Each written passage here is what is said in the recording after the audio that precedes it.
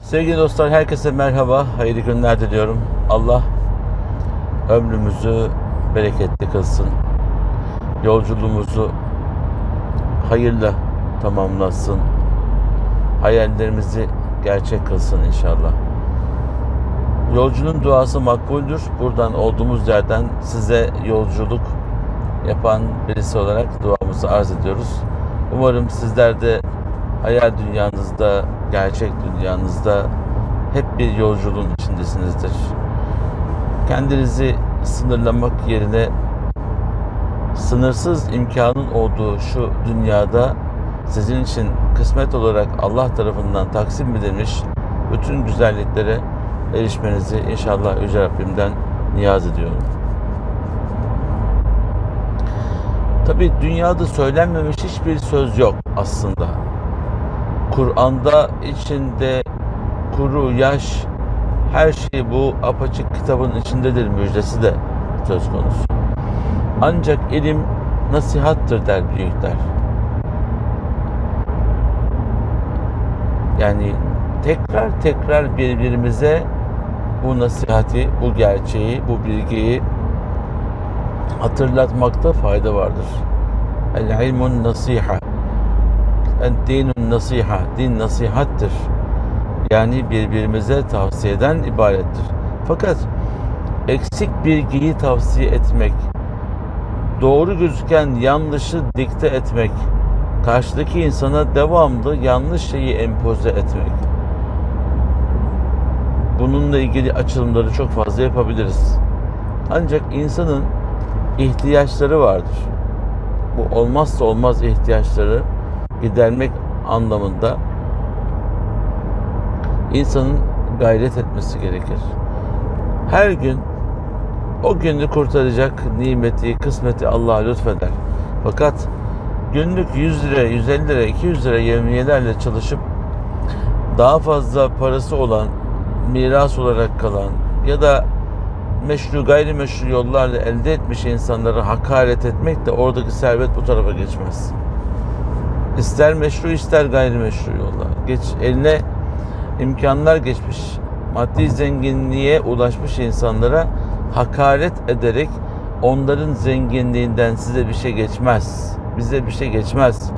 İnsanlığa da yakışmaz. Onlara hakaret etmek demek ya Rabbi sen taksimatı yanlış yapıyorsun demektir. Bu da Allah'ın gayretullah'a dokunur. Biz Allah'ım bize verdiğin nimetlere teşekkür ediyoruz. Sağlık, sıhhat, afiyet, onur, haysiyet, şerefe de teşekkür ediyoruz diyerek yolumuza devam etmeliyiz. Çok şükür bu yaşımıza kadar hiçbir zaman onda bu var bizde niye yok gibi ifadeleri kullanmamaya çalıştık. Yanımızdaki insanlar konuşsa da biz konuşmadık. Başkalarının söylem ve eylem biçimi bizim karakterimiz olamaz. Bizim söylem biçimimizi belirleyemez. Elbette etkileniriz ama sövmek yerine övmeyi kullanacağız. Dövmek yerine yine övmeyi kullanacağız. Yok öyle hakaret hamil sözler söyleyip hakaret edip yukarı çıkmak, arkadan konuşup kendini konuştuğun insanın önünde zannetmek olmaz. Müslümana bize yakışmaz. Bize yakışmayacak halleri yapmak ancak bizi geri götürür, ileri asla götürmez. Aziz dostlar, olduğumuz dünyanın içindeki nimetlere teşekkür etmek o men yakterif haseneten nezid lehu fiha husna.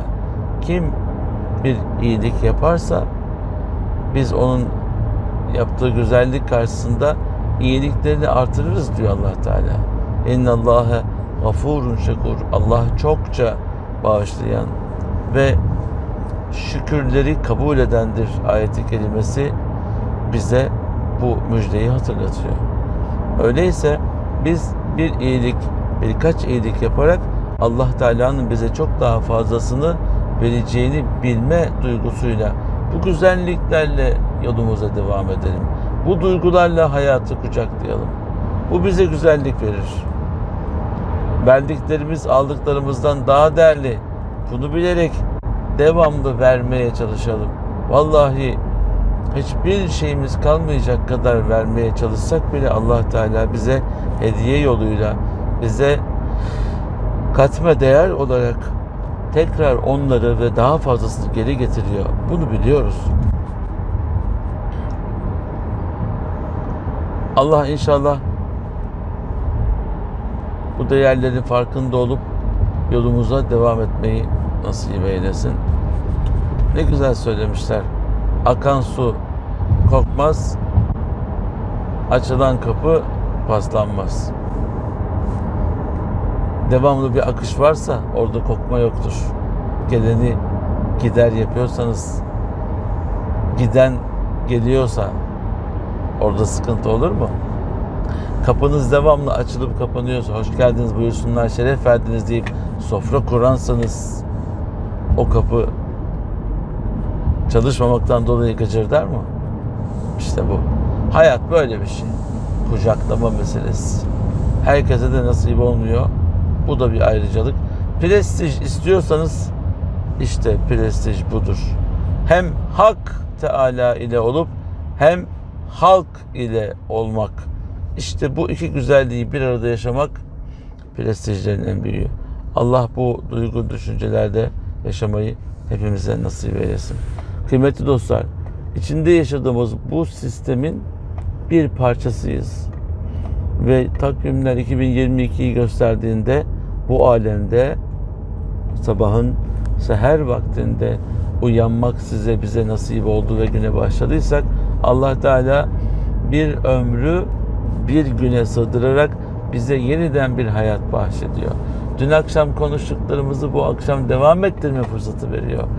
Sabah uyandığımızda aklımız, kalbimiz, hissiyatımız, duygularımız, sevgimiz, sevecenliğimiz, sevildiğimiz bütün bu düşünceler, bütün bu güzellikler, bütün bu nimetler uyanabilmek, acıkabilmek, yemek yiyebilmek, hal hatır edebilmek. Bakın sıradan insani her gün yaptığımız normal herhangi bir şeyden bahsediyorum. Bunlar bize tekrar sabahın erken saatinde veriliyor. Ne var tabi olacak diyebilirsiniz içinizden. Ama sabah kalktığında dün ve önceki günlerde hayatı boyunca yaptıklarını unutan insanların varlığını unutmayın. Sabah uyandığında kanama geçirmiş, organları iflas etmiş insanları unutmayın. Sabah uyandığında evladını kaybetmiş, sabah uyandığında şirketinin iflas ettiğini duymuş, sabah uyandığında annesini babasını kaybetmiş, sabah uyanamadığında öldüğünün bile farkında olmayan insanlardan olabilirdik. Ya nasıl nimetmiş, nasıl nimetlermiş Allah'ın verdiği nimetler. Şimdi daha iyi anlayabiliyor muyuz? Sabaha uyanamamak bir taraftan bakınca o da nimettir ya. Ahiretin, cennetin yolcusuyuz inşallah. Kıymetli dostlar, Allah aşkına gözün açılıp uyanıp bakıp görebilmesi. Sadece bu yetmez mi ilim tahsili için, bir şeyler yapabilmek için? Değer mi şunu yapamadım, bunu yapamadım, bunu kazanamadım, ben buralarda olacaktım şurada. Yani nerede olursan ol ya. Şikayet ediyorsan vallahi paspassın ya. Nerede olursan ol. Kapıcı bile olsak Allah'ım bu binadan para kazanmayı bana lütfetti. Oturduğum yerden para kazanıyorum şükürler olsun diyebiliyorsak ne mutlu. Devletin zirvesinde herhangi bir yerde görevde olabilirsiniz. Allah'ım devletime milletime hizmet etmeyi nasip ettin şükürler olsun diyebiliyorsanız ne mutlu. Şurayı nereden düştüm Allah alsın da kurtulsam diyorsanız ne yazık. Ne yazık çok yazık. Aziz dostlar, kıymetli dostlar sevginin hakim olduğu bir dünyayı istiyorsanız önce siz sevgi dolu olmalısınız. Bırakın o ülkeyi bu ülkeyi şunlar bunlar şucular bucular. Önce kendinize bakın kendinize. Kendimize bakalım. Biz sevgi dolu bir insan mıyız? İkram edebiliyor muyuz? Başka topluluk, topluluklara, yakın arkadaşlarımıza sevgi dolu bakabiliyor muyuz? Sevgiyi var edebiliyor muyuz? Var mı bu duygular bizde? Varsa tamam. Ama yoksa kimseyi böyle öyle böyle şöyle deyip itham etmeyelim. Sevgiyle, güzel düşüncelerle, verilen nimetlere teşekkürle başladık güne. Biz araba sohbeti yapıyoruz. Vaaz nasihat yapmıyoruz. Sizlerle yolculukta ne konuşulabilirse bunları paylaşıyoruz. Bazen sürçülisan olur. Bazen trafiğin akışındaki dikkat gereği bir konudan başka konuya da geçiyor olabiliriz. Kusura bakmayacağız ya. Ama unutmayın siz ne düşünüyorsanız biz onu düşünüyoruz. Biz ne düşünüyorsak size de onu düşündürüyoruz. Bilerek bilmeyerek. Onun için güzelliği artırmak, iyiliği çoğaltmak niyetimiz olsun. Biz gayret edince Allah Teala çok daha fazlasını bize lütfettiğini müjdeliyor. Bu nimetleri kucaklamak bizim nasibimiz. O zaman gayret edelim. O zaman başkalarının ayıplarını konuşmayalım. Başkalarının kusurlarıyla uğraşmayalım. Konuştuğumuz insan yanımıza gelir. O zaman başkalarının güzelliklerini konuşalım ki yanımızda güzellerin ve güzelliklerin enerjisi var olsun ve çoğalsın. Sünnet mi? Evet, birçok sünnet var ama peygamberimiz dedikodu yapmazdı. Sünnet mi? Peygamberimiz zengin bir hanım hanımefendiyle evlendi. Sünnet mi? Peygamberimiz kendisinden 15 yaş büyük insanla evlendi. Sünnet mi? Peygamberimiz kendisini hakaret eden insanlara güzel konuştu. Sünnet mi? Hangi inanıştan olursa olsun herkese ihtiram gösterdi, iyilik yaptı, ikramda bulundu. Buyurun. Buyurun. Yapabiliyorsanız buyurun yapın. Sünnet mi? Saçlarını uzattı peygamberimiz. Hadi. Olur mu? Saç uzatmak başkalarının alameti dersiniz. Olmaz. İşine gelen sünnet, işine gelmeyen sünnet olmaz. Kıymetli dostlar, sohbet muhabbet taşıp gidiyor. Mazur görün. Bugünkü sohbette böyle olsun. Herkesin ve her şeyin sahibi Yüce Rahman'a emanet olun. Allah'a ısmarladık.